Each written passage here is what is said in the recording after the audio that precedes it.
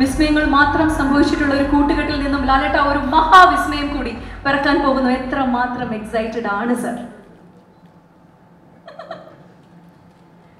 Excitement എപ്പോഴും ഉള്ള excitement നമ്മളെപ്പോഴും ഒരു സിനിമ തുടങ്ങുന്ന സമയത്ത് ഈ സിനിമ ഏറ്റവും വലിയ സിനിമയായി മാറുന്നതെന്ന് പ്രാർത്ഥിക്കും.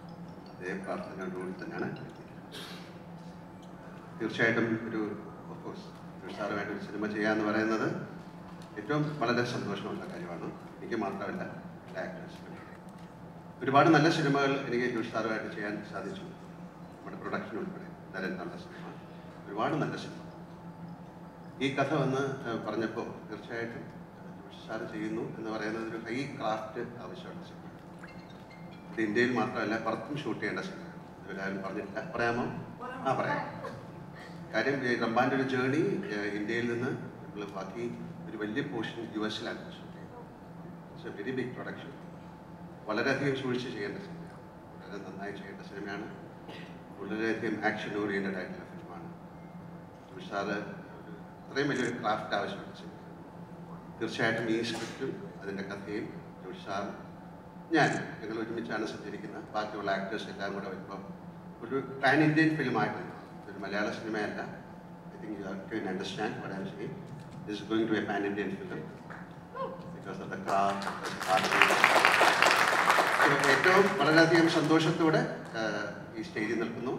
Thank you Chemban thank you instinct thank you sir for joining thus വന്ന കഥ പറഞ്ഞപ്പോൾ തന്നെ അതിനൊരു വളരെ ഒരു അങ്ങനെയാണല്ലോ നമുക്കൊരു പെപ്പുണ്ടാവും ഒരു എക്സൈറ്റഡ് ആണ്.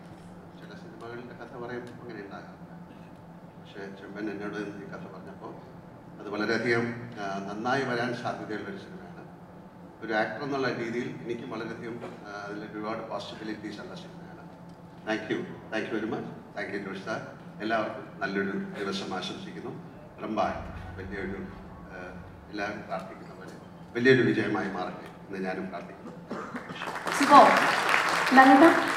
ചോദിക്കുന്നത് കൊണ്ട് കുഴപ്പമുണ്ടോ എന്ന് എനിക്കറിയില്ല. കാരണം സ്ക്രിപ്റ്റ് ചോദിച്ചു ചോദിച്ചു കഴിഞ്ഞിട്ടല്ലേ പറയാൻ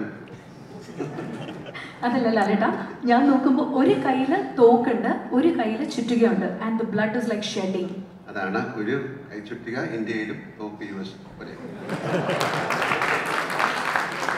കാരണം നമുക്ക് ഇത് കണ്ടിട്ട് ഒരു പിടിയും കിട്ടുന്നില്ല. അത്ര അതാണ് പിടി കിട്ടാതിരിക്കുന്നതാണ്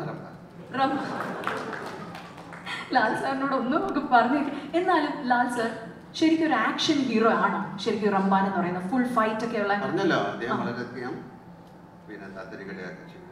പിന്നെ നന്നായി വീണ്ടും തരികടയിലേക്ക് പോകാൻ സാധ്യതകൾ കാര്യം അല്ലേ? മനുഷ്യൻ അങ്ങനെയാണല്ലോ. ഒരു ആവശ്യം വരുമ്പോഴാണല്ലോ നമ്മുടെ കാര്യങ്ങൾ പുറത്തേക്ക് എടുക്കുന്നത്. അത്തരത്തിൽ പുറത്തേക്ക് എടുക്കാൻ സാധിക്കുന്ന ഒരു ആളാണ് നടന്നു കുഴപ്പമില്ലാത്ത ഓക്കെ ഇപ്പോൾ ലാൽ സാർ റംബാനെ പറ്റി പറഞ്ഞു. ഈ പറഞ്ഞ പോലെ യു എസിൽ ഷൂട്ടിംഗ് ഉണ്ട് ഒരു വലിയ ബിഗ് ബഡ്ജറ്റ് മലയാളം കണ്ട ഒരു one of a kind experience ആയിരിക്കും റംബാൻ എന്ന് ലാൽ സാർ എന്നെ പറഞ്ഞു കഴിഞ്ഞു. ഇനി ഒരുപാട് സ്നേഹമുണ്ട്. കാരണം ഞങ്ങളുടെ ഈ ഒരു ക്ഷണം സ്വീകരിച്ച ലാലേട്ടൻ എനിക്ക് തോന്നുന്നു എല്ലാം എല്ലാമായ ആന്റണി ചേട്ടനും കൂടി ഞങ്ങളെ വിഷ് ചെയ്യാനായിട്ട് ഇവിടെ എത്തിയിട്ടുണ്ടായിരുന്നു. സോ ആന്റണി